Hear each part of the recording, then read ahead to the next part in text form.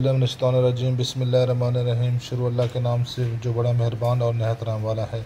Welcome करता हूँ M B food secret में। हाँ जी, एक और रेसिपी के साथ हाजिर खिदमत। हूँ आज मैं आप लोगों के साथ ये देखें जी फ़िश फ्राई की रेसिपी शेयर करने लगा हूँ। ये तलापिया फ़िश मैंने लिए ये देखें जी फ्रेश फ़िश है। इसको अच्छे तरीके से धो के ऐसे कट लगा लिए। चलें जी, इसको मैरिनेशन का सिलसिला शुरू करते हैं। हाँ जी, सबसे पहले एक बाउल ले लेंगे। उसमें हंसप ज़रूरत, नमक ऐड कर देंगे। यहाँ पर मैं आधे चम्मच से थोड़ा ज़्यादा ले रहा हूँ नमक और अदरक लहसुन का पेस्ट जो है ना, एक चम्मच ऐड कर देंगे। थोड़ा सा और भी ऐड कर देंगे। यहाँ पर मैं हल्दी लूँगा। ये देखें जी, आधे चम्मच से थोड़ा कम। यहाँ पर मैं लाल मिर्ची लूँगा।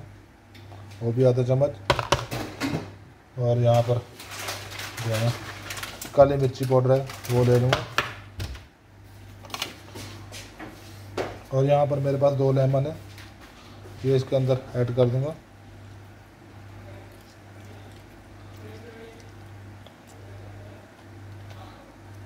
ये देखें, इसके अंदर मैंने थोड़ा पानी ऐड कर दिया। दही भी आप ऐड कर सकते हैं। अब मैं इसको मैरिनेशन कर लूँगा। तकरीबन एक घंटे के लिए हम इसको इसी मिसाले के अंदर डाल के रख देंगे। इस तरह पूरी फ़िश को मैं इस तरह रख लेंगे। मैरिनेट कर लेंगे। हाँ जी, ये देखें जी, कुछ इस तरह जो है ना मैंने इसको मैरिनेट करके रख दिया। अभी एक घंटे के बाद इसको ओपन करेंगे।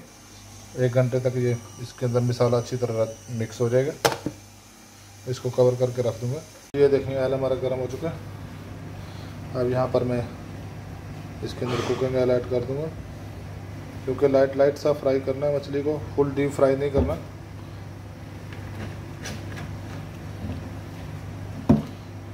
हाँ जी, ये देखें मछली को मैरिनेशन किए हुए अभी एक घंटा हो गया।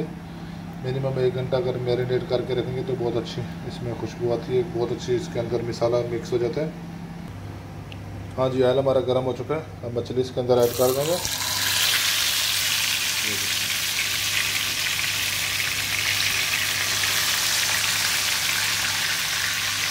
हाँ जी चेक करते हैं। ये देखें जी, मछली की एक साइड फ्राई हो चुकी है। अब मैं इसको चेंज कर दूँगा। दूसरी साइड भी इसको फ्राई कर लेंगे। ये देखें जी, माशाल्लाह। बहुत ही ज़बरदस्त ये देखें जी, माशाल्लाह। मछली हमारी फ्राई हो रही है। बिल्कुल मीडियम फ्लेम रखा हुआ मैंने